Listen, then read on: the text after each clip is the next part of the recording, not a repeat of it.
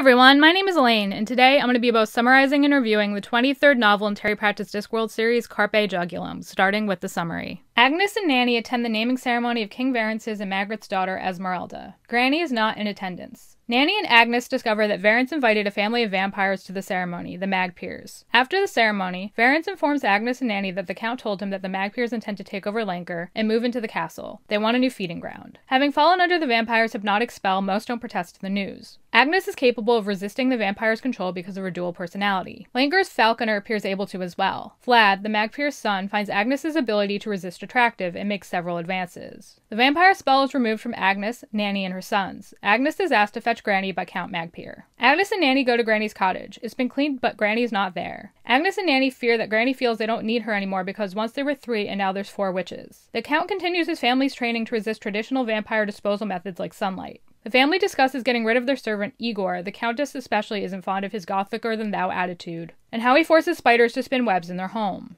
Agnes discovers that Mightily Oats, the Omnian priest who conducted the naming ceremony, can resist the vampire's spell. Nanny sends Agnes to the catchel to fetch Margaret and her baby to both protect them from the vampires and have Margaret help them to find Granny. Agnes elects to take Mightily Oats with her. On their way to the castle, the pair notice several people wearing scarves around their necks to hide the bite marks. Mightily Oats and Agnes retrieve Margaret and her baby and take them back to Nanny's cottage. After filling Margaret in on everything that's going on and scrying for Granny's location, the three witches set out to speak with Granny. The witches find Granny in a cavern. Granny's upset she was not sent an invitation to the naming ceremony. After telling her what's going on, the witches try to convince Granny to help them rescue Lancre. They don't seem to have any luck even after Granny is informed that her invitation had been stolen by a magpie. Granny doubts her ability to do anything about the vampire problem. The three witches return to Lancre to face the Magpyrs without Granny's assistance.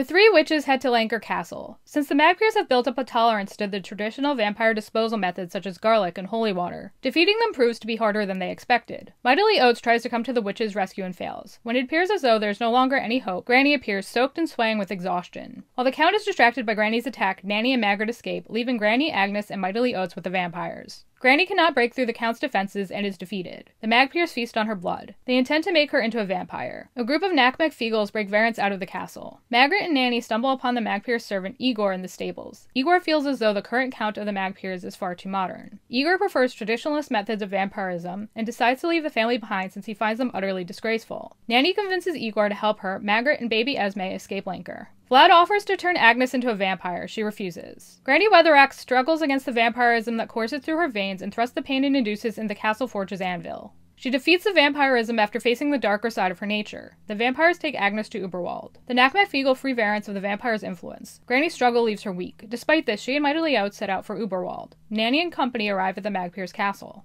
While Margaret and infant Esmeralda hide in the crypt, Nanny and Igor begin fighting the Magpyrs using a stockpile of holy water and other anti vampire weapons collected by old Count Magpyr. The Magpyrs discover that the traditional vampire disposal methods they thought themselves immune to are having an effect on them again. They begin to experience strange cravings for tea and biscuits, which upsets them since it deviates heavily from their typical cravings. Granny and Mightily Oats arrive at the Magpyrs' castle. The Countess tries to slip into the crypt by turning herself into green smoke and heading through the door's keyhole. Margaret captures her in a jar and throws it down the well. The Count breaks down the door. Nanny and Agnes discover that the vampires have captured Margaret. The three Lancre witches catch up to Margaret and the Magpyrs. Igor revives the old Count Magpyr. The truth comes out when Granny reveals that the Magpyrs failed to turn her into a vampire and that they have been weather waxed. Granny had borrowed her own blood, blood they had consumed, which allowed her past their mental defenses. The Magpyrs discover that they are unable to harm baby Esmeralda do anything that Granny is incapable of doing. The family is horrified further when they discover that Igor has reawakened the old Count Magpyr. He spilled a drop of blood in the old Count's ashes, and that Uberwald's people would refer the old Count to their modern vampirism. Oats mortally wounds the new Count with an axe. The Count is punished by being given 50 years to rest and think about things. Granny entrusts the old Count with Vlad and Lacrimosa's care. He is to teach them the old ways. They turn into a flock of magpies and disappear. The witches return to Lancre, and that's the end of the novel. Now, onto my book review. I felt as though this novel had a very, very slow start. There was a lot of setup, and a lot of time was spent explaining things like the nature of vampires. I definitely would have preferred a more streamlined version of the novel's current opening. In Carpe Jugulum, Granny initially seriously doubts that she can do anything about the vampires. This isn't something we really see in Granny throughout the series self doubt, a sense of defeat, and hopelessness. She's usually quite confident, and this really humanized her and made her more relatable to Pratchett's readers, since even the most confident people struggle with self doubt and a sense of defeat from time to time.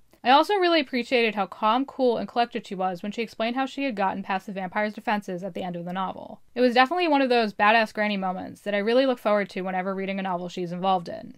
I thought it was interesting to see the clash of modern and traditional vampirism and gothic ideals. Lisps and limps and whippings for Igors versus no dust or spiders or dribbly candles and lots of resistance training. I liked how Pratchett reinvented and reimagined vampires in a way that makes sense, none of that vegetarian vampirism nonsense from the Twilight series. The novel's subject was also far darker than the vast majority of the other novels in the series. It also lacked a lot of the humor, which is found in most of Pratchett's work. Overall, I gave this book a 3.5 out of 5 star rating. I think this novel suffered a lot from pace and the fact that it didn't always feel like a Pratchett Discworld novel because of its darker subject matter, which reduced its humor. With that being said, Granny is both made more relatable in this novel and given the chance to shine, which I really, really appreciated. And there you have it, my summary and review of Terry Pratchett's Carpe Jugulum. If you've read this book, if you like what you saw here today, please leave a comment down below. I always like to know what you guys think. Smash that like button until it's blue. Subscribe, ring that bell so you'll know what's up, and we'll catch you all in the next one. Bye, guys.